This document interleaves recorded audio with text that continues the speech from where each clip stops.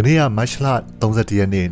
2023အချိန်ကမနေ့9နာရီကျော်လောက်ရှိပြီခုကျွန်တော်ပဲသွားနေရလဲဆိုတော့စီရတဲ့မြို့ကနေပြီးတော့2နာရီလောက်ကားမောင်းသွားရတဲ့မောင်ရိနီယာဆိုတဲ့တောင်ကိုသွားတက်မလို့ဒီခီးစဉ်ကိုကျွန်တော်တိုးနဲ့သွားတာပေါ့အဲ့ဒါဘာတွေပါလဲဆိုတော့သူကမြို့ထဲမှာလာခေါ်တယ်ပြီးရင်တောင်တက်တဲ့ခါမှာလိုအပ်တဲ့ပစ္စည်းတွေအကုန်ငှားပေးတယ်ပေါ့နောက်ပြီးတော့နေ့လည်စာလည်းပါတယ်ပြီးရင်ခုနလာကျူတဲ့နေရာကိုပဲပြန်ပို့ပေးတာပေါ့အဲ့တော့ဘာမှအစီအစဉ်ကြမလို့ဘူးပေါ့နော်သူခေါ်သွားတဲ့နေရာပဲလိုက်သွားရောပေါ့ အားလုံးအဆင်ပြေတယ်အဆင်မပြေတာကရာသီဥတုပေါ့စီရတဲ့ကိုလာလဲတဲ့ရက်တွေအားလုံးရာသီဥတုကအရင်မကောင်းဆိုပေမဲ့ခနေ့လောက်မစိုးမြင်းတဲ့အတိုင်းပဲရာသီဥတုကမောင်မဲနေပြီးတော့ weather forecast မှာလည်းခဏနေနင်းနေကြမယ်လို့သူကပြောထားတယ်အစကတော့ဒီလိုຫນွေဥရာသီမှာပေါ့နော်နင်းကြမယ်ဆိုတာမယုံဘူးပေါ့အဲ့ဒါခဏနေနင်းကြမကြစောင့်ကြည့်တာပေါ့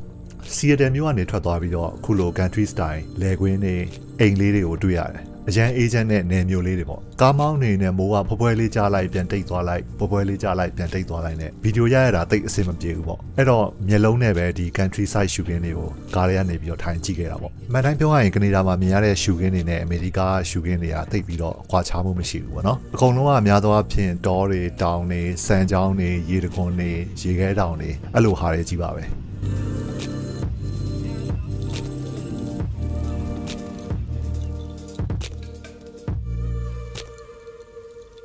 ဒီနေရာလေးဆိုတော်တော်မိုက်တယ်သူကမီးရထားတွဲတွေနဲ့အင်းဆိုပြီးတော့လှုပ်ထားတာပေါ့နော်ဒီမှာလာပြီးတော့မီးရထားတွဲတွေထဲမှာတဲလို့ရတာပေါ့စိတ်ကူးလေးကောင်းတယ်ပြီးတော့ဒီမှာစားတောက်ဆိုင်တွေလည်းဖွင့်ထားတယ်အကုန်လုံးကမီးရထားတွဲတွေမီးရထားတွဲကောင်းတွေနဲ့လှုပ်ထားတာပေါ့ဖះเจ้าလေးတောင်ပါလိုက်သေးတယ်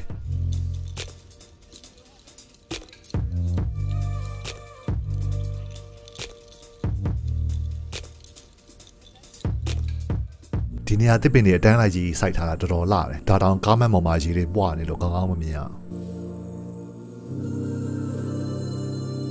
ဒီလိုရှူကင်းနေနဲ့ကားထဲမှာ country သချင်းလေးဖွင့်ပြီးတော့ကားစီးရတာတော်တော်ရတာရှိတာဒါကတော့ Mount Rainier National Park ရဲ့ဝင်ပေါက်ပေါ့ toll gate လို့ပြောရမှာပေါ့တကယ်လို့ကိုယ့်အကူလာမယ်ဆိုရင်တော့ဒီမှာ toll gate မှာပတ်စံပေးရတယ်ကျွန်တော်တို့ကျတော့ပါပြီးသားဆိုတော့ပေးကြမလို့ toll gate ကိုဖြတ်သွားပြီးတော့အထဲထဲကိုတော်တော်လေးဝင်ရတယ်ခုလိုတော်တော်ကြီးတဲ့ကိုဖြတ်ပြီးတော့မောင်းသွားရတာပေါ့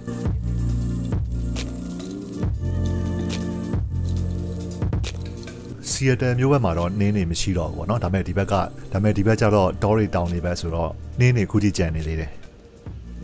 ခုကျွန်တော်တို့တောင်ကြီးကိုရောက်ပြီဒီတောင်ကြီးမှာတဲတဲ့နေရာတွေရှိတယ်စားတောက်ဆိုင်တွေရှိတယ် gift shop တွေရှိတယ်ပြီးတော့ museum လိုဟာတွေလည်းရှိတယ်တောင်ပေါ်မှာနင်းနေရှိသေးတယ်ဆိုတော့ကျွန်တော်တို့တောင်ပေါ်တက်တဲ့ခါမှာသုံးဖို့အတွက်ခုလို snow shoe တွေပေးပြီးတော့ဝေခိုင်းနေပေါ့ကျွန်တော်ဒီ snow shoe ကိုတစ်ခါမှမစီးဘူးဒါပထမအဆုံးချိန်စီးဘူးတာ အမှန်ကတောင်ကြီးမှာဆိုရင်တော့စီးဖို့မလိုအပ်သေးဘူးဒါပေမဲ့ကိုကမစီးဘူးဆိုရင်လက်နဲ့ကင်သွားမှာဆိုတော့တော်တော်လှုပ်ရှုပ်မှာပေါ့နော်အဲ့တော့ဓာတ်ပုံတို့ဗီဒီယိုတို့ရရတာအဆင်မပြေတော့အဲကြောင့်မလို့သူကတောင်ကြီးကလေးကနေပြီးတော့စီးသွားလိုက်ဆိုတော့ကျွန်တော်တောင်ကြီးကနေပြီးတော့စစီးသွားတာပထမဆုံးတွေ့ကြုံမလို့စီးရတာတော်တော်လေးနေရခက်တယ်လမ်းလျှောက်တိုင်းသူကဘက်လက်ဘက်လက်နဲ့ပေါ့နော်အဲ့လိုဖြစ်နေတာမစီးဘဲနဲ့ချွတ်ပြီးတော့ဒီတိုင်းပဲလမ်းလျှောက်လိုက်ခြင်းတယ်အဲ့နဲ့ကျွန်တော်ကလည်းသိချင်တော့ guide ကိုမေးကြည့်တာပေါ့ဒါစီးတဲ့အတွက်ဘာများဖြစ်သွားလဲပေါ့နော် အဲ့ကိုထင်ထားတဲ့အတိုင်းပါပဲသူပြောပြတာကတော့ဒီ snow shoe ကနင်းနေအရန်ထူတဲ့နေရာတွေကိုနင်းမိရင်လူကဂျွန်ပြီးတော့ကြာမသွားဘူးပေါ့နော်အနည်းဆုံးဒီအပြားကြီးနဲ့ကိုကနင်းတာဆိုတော့ခြေထောက်တွေဂျွန်ကျသွားတာကနေကာကွယ်ပေးတယ်ပေါ့အမှန်တိုင်းပြောရရင်အခု snow အခြေအနေရတော့ကျွန်တော်ထင်ဒီလို snow shoe မလိုအပ်ဘူးပေါ့နော်ဒါကသူကစိတ်ပူပြီးတော့ကျွန်တော်တို့စီးခိုင်းတာပေါ့အခုက match လာကုံလောက်ဖြစ်နေပြီဆိုတော့နင်းနေရအဲ့လောက်ကြီးတော့မထူတော့ဘူးပြီးတော့တောင်ပေါ်ကနေဆင်းလာတဲ့သူတွေပြီးတော့ကျွန်တော်တို့နောက်မှတက်လာတဲ့သူတွေဆိုရင်ရိုးရိုးရှူးဖက်တွေနဲ့ပဲတက်သွားကြတာပေါ့နော် ကျွန်တော်တို့တိုးနေလာတဲ့တစ်ဖွဲ့ပဲဒီလို snow shoe တွေစီးတာပေါ့ဒါသူကလည်း safety အတွက်ကျွန်တော်တို့ပေးစီခိုင်းတာပေါ့ကျွန်တော်တို့လည်းဒါ first time experience ဆိုတော့လေသူပြောတဲ့အတိုင်းကိုကစီးပေးလိုက်တာပေါ့အမှန်တကယ်တော့တော်တော်လမ်းလျှောက်ရခက်တာခဏတိုးမှလိုက်တဲ့သူကလူ3ယောက်ပဲရှိတာကျွန်တော်ပါဝင်ပေါ့ကျန်တဲ့နှစ်ယောက်ကလည်းဒီအမေရိကကပဲသူကတခြားပြည်နေရပေါ့သူတို့အတွက်ကတော့ဒီ snow shoe ကငယ်လေးကလေးကစီးဝူးနေလို့နေမှာပေါ့အေးဆေးပဲလမ်းလျှောက်ရတာလည်းအဆင်ပြေတယ်ဘာမှ complain နေမရှိဘူးပေါ့ကိုတယောက်တည်းလမ်းလျှောက်ရတာတိတ်အဆင်မပြေဘူးဒီအောက်ကအပြာကြီးကကိုချောင်းမှာဘက်လက်ဘက်လက်ကြီးနဲ့ပါလာတာကြီးကလမ်းလျှောက်ရတာတိတ်ပြီးတော့ comfortable မဖြစ်ဘူးပေါ့ဒါပေမဲ့ဒီ snow shoe နဲ့နိုင်ဝက်လောက်လမ်းလျှောက်ပြီးတော့နည်းနည်းလေးအကျဉ်းသားရသွားတယ်ကျွန်တော်တို့ guide ကတစ်ပင်နေအကြောင်းတော်တော်လေးနားလည်တယ်ထင်တယ်သူကလမ်းတစ်လျှောက်လုံးဒီတော်တွေကစိတ်ဝင်စားဖို့ကောင်းတဲ့တစ်ပင်နေအကြောင်းရှင်းပြတာပေါ့နော်ကျွန်တော်မှတ်မိတာတော့ဒီတစ်ပင်နာမည်ပဲမှတ်မိခဲ့တယ်ကျွန်တော်ရတော့သိမမှတ်မိတော့ဒီတစ်ပင်ရဲ့နာမည်က Douglas tree လို့ခေါ်တာပေါ့ ချို့တစ်ပင်တွေဆိုရင်မျိုးမတူတဲ့တစ်ပင်တစ်ခုတွဲပြီးတော့ပေါက်နေရပေါ့ဟိုလိုလူလိုပြောမယ်ဆိုရင်ရင်ချင်းဆက်အမွာဘူးလိုပုံစံမျိုးပေါ့ဒီ Mount Rainier အကြောင်းကိုပြောရမယ်ဆိုရင်သူက Pacific Northwest United States ဖက်မှာပေါ့နော်သူကအကြီးဆုံး active volcano သူဘယ်လောက်ထိမြင့်လဲဆိုတော့သူရဲ့ summit ကပေ14000ကျော်အထိမြင့်တယ်ဒီ Washington State မှာသူကအမြင့်ဆုံးတောင်ပေါ့ ခုနပြောသလိုသူက active မီးတောင်တစ်ခုပေါ့အဲကြောင့်မလို့အချိန်မရွေးသူကပောက်ကွဲနိုင်တယ်ပေါ့နော်ဒီတောင်ကတော်တော်နာမည်ကြီးတာ Seattle မြို့ကိုလာလဲလူတော်များများတောင်တက်တယ်ဆိုရင်ဒီတောင်ကိုလာတက်ကြတယ် Wikipedia မှာဖတ်ရတာကတော့1950ကနေ1918အတွင်းပေါ့နော်ဒီတောင်ကိုတက်တဲ့သူပေါင်း4,3900ကျော်ရှိခဲ့ပေါ့ပြီးတော့အဲ့ဒီထဲကလူပေါင်း84ယောက်ဒီတောင်တက်ရင်းနဲ့ accident ဖြစ်ပြီးတော့ဆုံးတယ်ပေါ့နော် ဒီတောင်က1800ခုနှစ်တွေမှာခဏခဏပောက်ကွဲမှုတွေဖြစ်ခဲ့တယ်ပေါ့ခုဆိုရင်နှစ်ပေါင်း100ကျော်ပြီပေါ့နော်ခုထိမပောက်ကွဲသေးဘူးပေါ့နောက်ပဲချင်းဖြစ်မလဲမသိဘူးပေါ့တကယ်လို့တစ်ခုဖြစ်ခဲ့ရင်လည်းဒါတော်တော်လေးကိုကြီးကြီးမားမား disaster တစ်ခုဖြစ်မှာပေါ့ခံမှန်းထားတာတော့တကယ်လို့ဒီပောက်ကွဲမှုနောက်တစ်ခေါက်ဖြစ်ခဲ့ရင်ပေါ့နော်ဒီ Seattle မြို့ကတော့ပြောမနေနဲ့တော့သူကလုံးဝတက်ရောက်မှုအများကြီးရှိမှာပေါ့သူပြောထားတာမီးတောင်ကထွက်တဲ့ပြာတွေကကျွန်တော်နေတဲ့ဒီကနေဒါဗန်ကူးဗားမြို့လို့ပြီးတော့အ မေရိကဆန်ဖရန်စစ္စကိုမြို့ထီတို့သူကရောက်နိုင်တယ်လို့သူကရေးထားတယ်ဒီမြေပုံကိုကြည့်မယ်ဆိုရင်တော့အမေရိကဘက်မှာရှိတဲ့မြို့တွေကအားလုံးသူက Pacific Ring of Fire မှာရှိတာပေါ့နော်အဲ့တော့ million ချိန်မျိုးလုံနိုင်တာပေါ့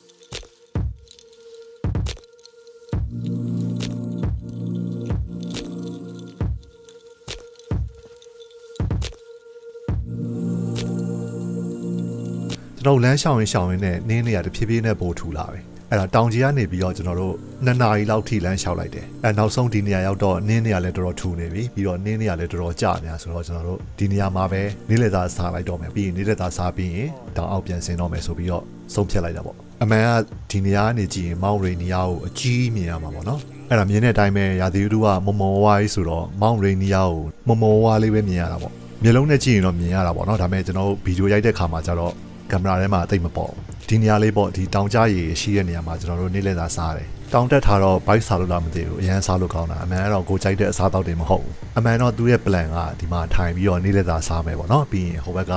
မောင်ရီနီယာတောင်ကြီးကိုကြည့်ပြီးတော့ view ကောင်းကောင်းနဲ့နေလဲသာစားလို့ရတာပေါ့ဒါပေမဲ့ခဏကတော့တောင်မမြင်ရအောင်ဖြစ်နေတယ်ဘယ်လိုပြောရမလဲဆိုရင်တော့ဒီတောင်လာပြီးတော့ဒီတောင်မမြင်ခဲ့ရဘူးဆိုတဲ့ပုံစံမျိုးပေါ့ဒါအတက်နိုင်ဆုံးကျွန်တော် zoom ဆွဲပြီးတော့ရိုက်ထားတာပေါ့နော်ဒါမောင်ရီနီယာဆမ်မစ်ကို မမဝဝလေးလမ်းမြင်ရတာပေါ့ဒါတော့မှခဏလေးသူကပေါ်လာတယ်ပြီးတော့ခဏနေနင်းနေထက်ကြလာတော့လုံးဝမမြင်ရတော့ဘူး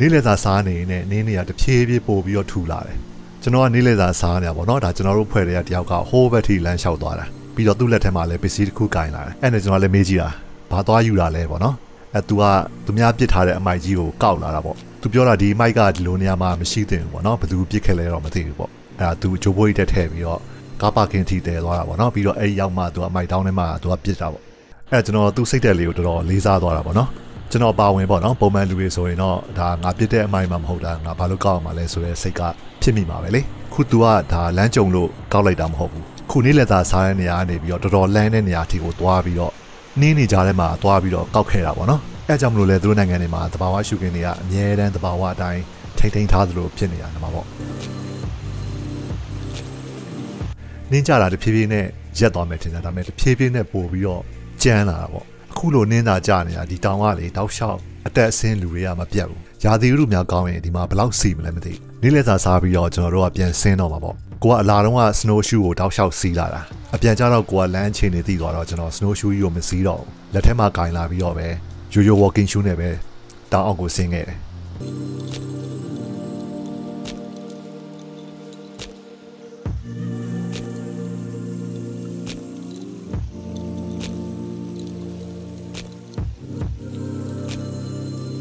ခုကျွန်တော်တို့ကားပါကင်ကိုရောက်လာပြီအမှ gift shop ထဲကိုဝင်ပြီးတော့ကြည်တာပေါ့နော် gift shop ထဲမှာပစ္စည်းတွေတော်တော်စုံတယ်ပြီးတော့အားလုံးကလိုချင်စရာလေးတွေကြီးပဲကို့အနေနဲ့ကြာဈေးတွေက US ဒေါ်လာနဲ့ဆိုတော့အကုန်လုံးကဈေးကြီးရလို့မြင်နေတာပေါ့ကျွန်တော်တို့တောင်ချေရောက်သွားတော့နင်းရတိတ်သွားပြီဒါပေမဲ့မိုးဖွယ်ဖွယ်လေးတော့ကြာနေသေးတယ်ရာသီဥတုချိန်တွေကြောင့်ကျွန်တော်တို့တောင်တက်တာက ချိန်နဲ့နဲ့တူသွားတယ်လို့ပြောရမှာပေါ့အဲ့နဲ့ကျွန်တော်တို့ guide ကအချိန်တွေပိုနေရနဲ့ကျွန်တော်တို့ကိုတောင်ကြီးကတောတွေတွေကိုလိုက်ပြတယ်ဗီဒီယိုအစပိုင်းမှာကျွန်တော်ပြောခဲ့သလိုပဲသူကတစ်ပင်တွေအကြောင်းကိုအရန်ရှင်းပြနေတာပေါ့အဲ့တော့ဒီတစ်တော်ထဲမှာသူကထူးဆန်းတဲ့တစ်ပင်တွေကိုလိုက်ပြတာပေါ့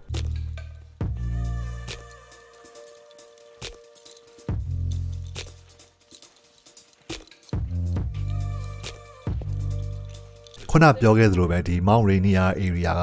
active volcano ပေါ့နော်အဲ့တော့ဒီမှာတွေ့တဲ့အတိုင်းပဲ ဒီလိုရှွန့်နေရှိတဲ့နေရာမှာသူကရေတွေပွက်နေတာပေါ့အဲကျွန်တော်စိတ်ဝင်စားလို့ရေတွေကပူနေလားပေါ့နော်ရေပူစမ်းလားဆိုပြီးတော့လက်နဲ့ကင်ကြည့်တယ်အဲရေတွေကအရင်တော့မပူဘူးဒါပေမဲ့ room temperature လောက်ရှိတာပေါ့ပြင်းအားရာသီဥတုနဲ့ရှင်မဲ့ဆိုရင်တော့ဒီရေကနည်းနည်းလေးနှွေးသလိုတော့ဖြစ်တာပေါ့ကျွန်တော်စဉ်းစားမိတာကဒီလိုရေတွေပွက်နေရဆိုတော့ပေါ့နော်သူ့ရဲ့မြေကြီးရောက်ထဲမှာဘယ်လောက်တောင်ပူနေမလဲပေါ့ဒီလိုရေတွေပွက်နေတာတနေရာနဲ့နေရာလည်းမဟုတ်ဘူးဒီတောတစ်ခုလုံးမှာနေရာပေါင်းများစွာမှာအဲ့လိုရေတွေပွက်နေတာတွေတွေ့ခဲ့တယ် ဒီတောထဲမှာလမ်းလျှောက်ရင်းနဲ့စဉ်းစားနေတာပေါ့ကျွန်တော်ညီမလိုတွေးမယ်ဆိုရင်တော့ဒီနေရာမှာငကားတွေတော်တော်များလို့ပေါ့နော်ဒီလိုရေတွေပွက်နေတဲ့နေရာတွေအများကြီးဖြစ်နေတာပေါ့နောက်ခါကျွန်တော်လာရင်ကျွန်တော်ငကစားတွေယူလာရမယ်တချို့နေရာတွေမှာဒီလိုရေချိုးတဲ့နေရာစပါလိုနေရာမျိုးလေးတဘာဝတိုင်းလုပ်ပေးထားတာပေါ့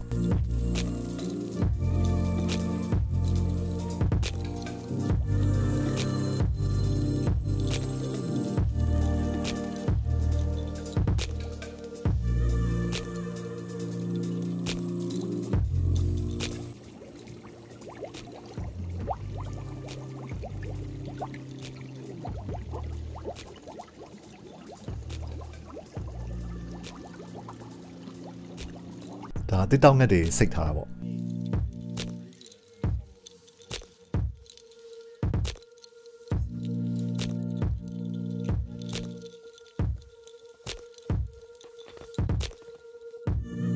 တောထဲမှာချိုးသစ်ပင်နေဆိုရင်တော်တော်ကြီးကိုကြီးတယ်အဲ့ဒီသစ်ပင်ဘယ်လောက်ကြီးရဲဆိုတာအဲ့ဒီလူတွေနဲ့သာရှင်ပြီးတော့ကြည့်လိုက်တော့သစ်ပင်ကြီးတွေကပင်စီကြီးတွေကလည်းတုတ်ကြီးပဲပြီးတော့အပေါ်လည်းအမြင့်ကြီးတက်သွားတာပေါ့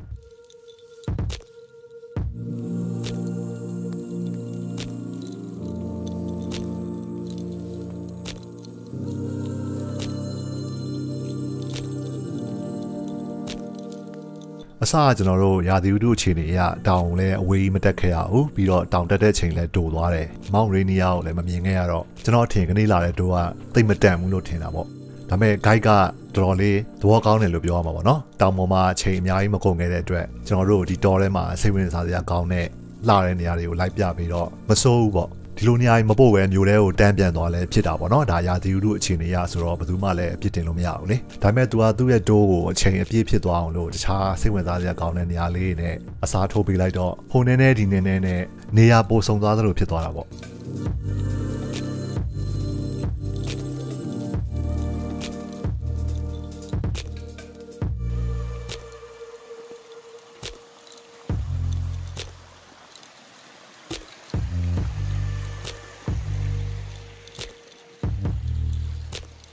ကျွန်တော်တို့တောင်ပေါ်ဆင်းလာပြီးတော့ဒီတောထဲမှာတနားရီလောက်လမ်းလျှောက်ခဲ့တာပေါ့နော်အဲ့ဒါပြီးတော့ကျွန်တော်တို့မြို့ထဲကိုပြန်တော့မယ်